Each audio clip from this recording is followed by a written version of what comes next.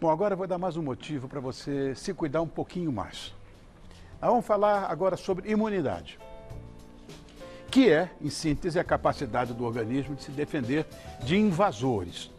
Que invasores? Vírus, bactérias, fungos, que podem causar um monte de doenças. E para isso nós vamos entender o que é mito e o que é verdade. Com a ajuda do membro titular da Academia de Ciências do Estado de São Paulo, que foi médico, diretor, superintendente do Instituto Israelita de Ensino e Pesquisa Albert Einstein. Boa tarde, Luiz Vicente Riso. Boa tarde. Como vai? Muito obrigado por ter vindo. Muito obrigado por me convidar novamente. Ah, mas isso é um assunto que interessa a todo mundo. Fique à vontade como se estivesse na sua casa, o que na verdade está. Muito obrigado. Vamos começar. Doutor Luiz, vamos começar falando da importância da imunidade? Sim, é, o, o sistema imune é, é responsável não só pela defesa do organismo contra vírus, bactérias, protozoários, fungos e toda sorte de. Mas ele também é responsável por o que a gente chama de vigilância imunológica contra células cancerosas, por retirar células envelhecidas da circulação, por todo o reparo celular. Então, quando você tem um, um, uma lesão, um corte, alguma coisa, são as células do sistema imune que reparam. Então, o sistema imune é responsável pela manutenção da homeostase do organismo, o dia a dia e ter certeza que a gente está ah, pronto para a luta, né? Pois é, histologia é uma coisa muito, muito complicada, mas nessa hora a gente vê da importância é, da imunidade em relação a, a elas, né, as células. Vamos às afirmações. Eu tenho um monte de coisa aqui que mandaram para mim para saber se é mito ou, ou se é verdade. A primeira, isso tudo de, de telespectador. As mulheres têm a imunidade mais baixa durante a TPM? Mito ou verdade? Mito. Bonitinha, viu? Você que está preocupada com essa história, aí ó, é mito, essa história de TPM. Olha, vamos para outra. Nas estações mais frias, a imunidade baixa. Mito ou verdade? Essa depende.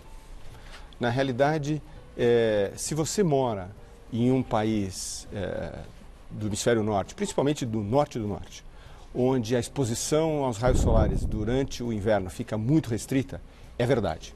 É verdade porque vitamina D é muito importante para a manutenção da imunidade.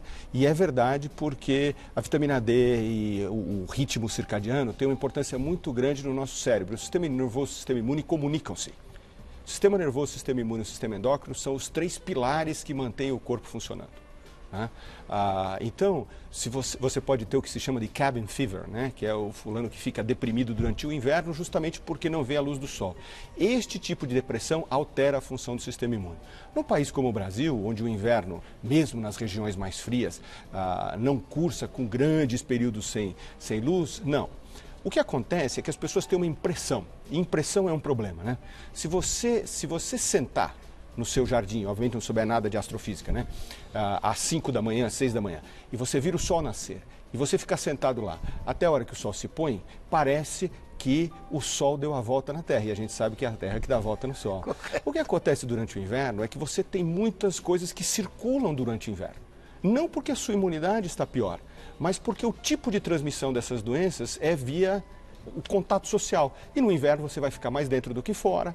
Né? Aglomerações. Aglomerações de pessoas. Então, você está andando de ônibus ou no metrô, a janela está fechada. Né? Você tem maior chance de, de, de adquirir uh, doenças uh, uh, contagiosas por conta disso. Não porque a sua imunidade esteja pior. Está pior no caso, como eu falei, das pessoas que estão sujeitas a pouca exposição solar. Outra coisa que acontece muito no inverno é que o fulano resolve tirar aquele casaco que ele não usa há um ano atrás. 15% das pessoas são alérgicas. Então, claro. Você dispara uma alergia e a alergia precipita sintomas que são muito parecidos com um resfriado. Nariz escorrendo, o olho inchado. Né? Então, a história do inverno ela só é verdade se você morar num lugar onde tiver pouca exposição solar. Fora disso, é uma coisa comum da estação. Do mesmo jeito que as pessoas que moram no hemisfério norte têm febre do feno durante a primavera, porque é quando tem pólen. Aqui a gente não tem esse negócio porque tem polinização o ano inteiro. Então quem tem alergia à gramínea espirra o ano inteiro, é não, verdade, não é só verdade, na primavera, né? Verdade. Bom, tem outra aqui. Essa aqui já ouvi muitas coisas. Tomar vitamina C ajuda o sistema imunológico? Mito ou verdade? Mito. O que acontece com a vitamina C é que se você tomar muita vitamina C, mais do que uma grama por dia, Ela é excretada, né? e ela, vai, ela sai toda na, na urina. Você- vai ter o que a gente chama um xixi muito rico, não é? E aí você paga aquele negócio para tomar ali e fica caro para chuchu. Ah, existem, entretanto, algumas evidências que mostram que, sob determinadas condições, para um número muito pequeno de pessoas, isso diminui a morte de algumas células. Então, para muito pouca gente, sobre algumas expectativas, sobre algumas, eh, eh, em alguns casos, realmente faz algum, algum sentido. E aí aquela história, né? Eh, As pessoas sempre lembram do pouco usual. Eu chamo isso do princípio do Bill Gates, né? Porque o que, que acontece? O cara não quer estudar. Então ele fala assim, olha, você vê o Bill Gates, ele saiu de Harvard e ficou bilionário. Quantos bilionários você conhece que saíram de Harvard? Um. Em compensação, quantas pessoas que saíram de Harvard e hoje estão, sei lá, fazendo trabalhos que não são de milionários? Centenas de milhares, só que você só lembra do sobrevivente, né? Então, Correto. como tem uma pessoa que você já ouviu falar, que tinha muito problema, muita infecção, começou a tomar vitamina C e ficou ótimo, você assume que isto serve para todo mundo. Não é verdade, é um mito. Isso é uma bela analogia. Adorei. Adorei. Tem outro aqui. É, bom, mas se a pessoa tiver a, a vitaminose C, tudo bem, né? Não, isso é outra história. Tá. Que vitaminas deve tomar? Olha, do ponto de vista imunológico, o que é importante é ter uma alimentação balanceada. Tá. Tá? É, então, se, vitamina D é muito importante, vitamina A, vitamina E, vitamina C e B são as mais importantes. É, essas coisas todas realmente elas fazem parte da resposta imune, assim como microelementos, o zinco, selênio. Ah, a verdade é que o nosso corpo é uma máquina super bem bolada. Então, se você tiver uma alimentação minimamente balanceada, não estamos falando de coisa muito precisa com nutricionista, com nutrólogo, essas coisas não. É minimamente balanceada, você absorverá de uma dieta basicamente normal, com arroz, feijão, alguma fonte de proteína, e verduras, então você vai absorver tudo que você precisa. tá? Mas as, as quentes são essas, é A, B, C, D. O pessoal gosta muito de dar isso daí porque tem uma vantagem enorme, tem pouco efeito colateral. Né? Agora, então eu devo entender que ah, uma alimentação inadequada, não adequada, é, influencia na, na imunidade. Influencia na imunidade, influencia na imunidade, influencia na sua vida como um todo. Eu, eu gosto de dizer que sempre é, é, o que faz bem para o corpo faz bem para a sua imunidade. né? Não, food. esta não é boa. Aí tirando aquele, aquela alface, a cebola e, o- e o tomate, o resto todo não lhe ajuda, viu? Até, até porque mesmo, mesmo a carne do, do hambúrguer a gente não sabe bem qual é a origem. Né? É bom, é. Também tem isso, né? Bom, outra coisa. Mito ou verdade? A, a gripe pode acontecer após uma exposição a um vento frio. Mito. Ah, o famoso Todo resfriado. mundo diz que é o contrário. Pois né? é, o famoso resfriado, né? Tá. Ah, na realidade, ele está associado a algumas alterações que você pode ter, ah, mas não a gripe. né? O resfriado, sim. Então, porque resfriado e gripe são duas coisas completamente Completamente diferentes. Gripe é um negócio causado pelos vírus da família da influenza, é um negócio grave que você pode morrer dele e tal. Resfriado pode ser causado assim, porque você tem uma pequena baixa da imunidade. Se você tiver, mas não é só o vento frio, e é essa que é é que, de novo, aquela história do que, que as pessoas põem na cabeça por conta das informações que elas têm. Qualquer mudança abrupta de temperatura vai comprometer a sua imunidade. Por motivos diversos. Eu podia falar duas horas sobre isso aqui. Né? Mas por motivos diversos, essas mudanças abruptas, elas comprometem a sua imunidade. O que acontece é que os rinovírus, que são os vírus que causam o famoso resfriado, eles, de modo geral, estão presentes. Você deve ter algum, eu devo ter algum. A hora que a imunidade dá uma baixadinha, você tem um, um- um resfriado. E ela pode ser por conta de um vento frio, ou porque você entrou, você estava na, na piscina está quente, entrou na, na- na água gelada, uma- tem motivos pelos quais você modifica a imunidade. Mas gripe não, gripe você vai pegar se você tiver contato com alguém que tenha ah, o vírus da influenza e tiver gotículas, alguma coisa assim. E, e é, um, é um vírus muito ubíquito, diferente de outros vírus que você tem suscetibilidade, tem gente que pode pegar, até gente que não pode pegar, por exemplo, até o vírus do HIV, você tem pessoas que são, não são suscetíveis a pegar, são poucas, mas que não, não pegam HIV de jeito nenhum. né? Ah, o vírus da gripe não, ele é um vírus Sim, bem democrático. Ele, ele pega em qualquer um. Então não é o vento frio que vai te fazer mal, não. Pegou em mim já. É. H1N1. Enfim, tem outro aqui. Ah, os recém-nascidos não têm imunidade. Mito ou verdade? Isso é verdade. Até os seis meses de idade, as crianças vivem da imunidade que elas herdaram transplacentária pela, pela mãe e da imunidade que vem via leite materno. Por isso que a gente insiste tanto que a amamentação até os seis meses é o mínimo aceitável. Né? E é tão importante que a gente tenha licença maternidade no Brasil. Tem muitos países que não têm é, esse tipo de coisa, porque é muito, muito importante. Não só para o momento, mas porque tudo isso que acontece nesses primeiros seis meses, o sistema imune é um sistema é, inteligente. Né? Então ele vai aprendendo com as infecções que você tem. Né? Por isso que você pega a maior parte das infecções que você pega, você pega uma vez só. Né? Por que a gente pega a gripe várias vezes? Porque são vários vírus diferentes, eles têm uma capacidade de mutação e tal. Né? Ah, então, este período dos primeiros seis meses de vida são muito importantes para as crianças, para o sistema imune das crianças aprender o meio ambiente. Né? Por que, que a gente não tem sistema imune porque se, se, esperasse até o sistema imune ficar pronto, a gente ia nascer com a cabeça desse tamanho, não passava onde precisava passar. Então, você tem que nascer um pouquinho mais cedo e aí a natureza deu, deu um jeito né, da sua mãe te passar alguma imunidade e tal. A partir dos seis meses, você começa a produzir os seus próprios anticorpos. Né?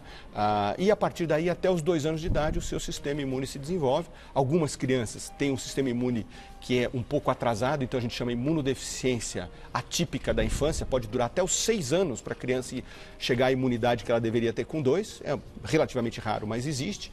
Né? Mas é isso. Realmente as crianças até os seis, anos de idade, seis meses de idade não produzem nenhum anticorpo próprio.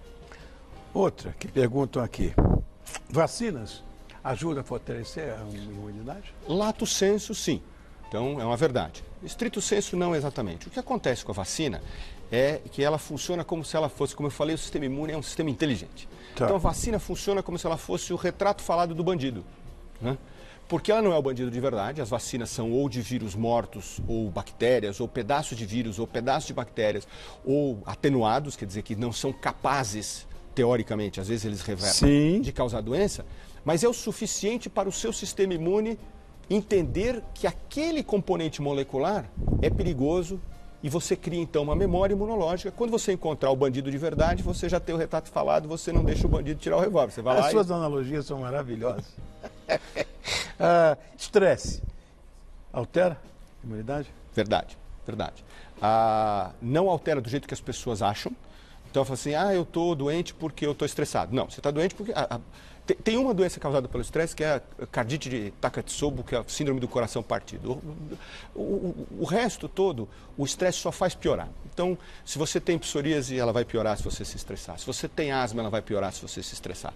Ah, e, obviamente, a qualidade da sua imunidade piora. Isso tem uma razão, de novo, eu podia falar horas sobre isso, é uma razão biológica da maneira que nós nos desenvolvemos na natureza desde que éramos homens das cavernas, né? ah, mas o estresse especialmente esse estresse que nós temos hoje, que é o estresse continuado. Porque o, o, ser humano foi bolado para estresses curtos, 30 minutos. Era o estresse de 50 mil anos atrás. Você sai para caçar alguma coisa e não ser caçado. Né? Para buscar comida e não virar comida do tigre de dente de sabre. Mas esse, esse é um estresse que demorava 30 minutos. Né? Hoje, o estresse, a preocupação com os filhos, a preocupação com a economia, com a violência urbana, e, e a gente não foi bolado para isso. Então atrapalha muito o sistema imune. Passar raiva é horrível. Ai, Deus do céu. Quanto tempo eu tenho, diretor? Um minuto. Tem uma coisa aqui que eu achei interessante, uh, porque tem muita coisa. Meu Deus do céu, manter as mãos limpas ajuda a manter a boa eh, imunidade, isso é um mito também, né? Mito. E essa coisa aqui, vegetais, frutas, peixes, eh, assim como salmão, bacalhau, sardinha, ajudam nas defesas do corpo. Mito ou verdade? Mito. Mito. Mas fala tanto nisso, né? Fala porque é, é alimentação saudável. Essas coisas todas que você falou fazem parte de uma alimentação saudável, mas elas são intercambiáveis. É, é, é, o conjunto da obra que é importante, não é uma coisa só. Não é o salmão, ou a sardinha, ou o alho, ou sei lá o quê. Tá? Você pode comer 50 cabeças de alho. Se você não tiver proteína suficiente, não tiver outras fontes de, de por exemplo, é, microelementos que você tem nos, nos, vegetais crucíferos, como brócolis, né? você não vai adiantar nada, não vai resolver nada sem imunidade. Você comer salmão todo dia e só o salmão, não vai ficar bem. Vai, vai voltar naquela questão que você fez para mim antes. Né? Se é uma alimentação saudável é importante para a imunidade. Sim, saudável, não necessariamente este ou aquele elemento.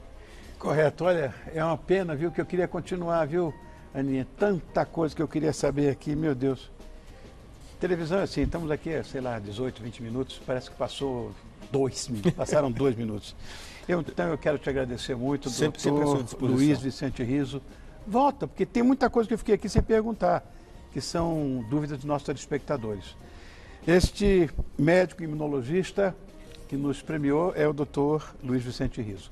Agradeço muito e fica o convite aqui no ar. Volte. Muito obrigado, será um prazer. Obrigado, querido. Obrigado.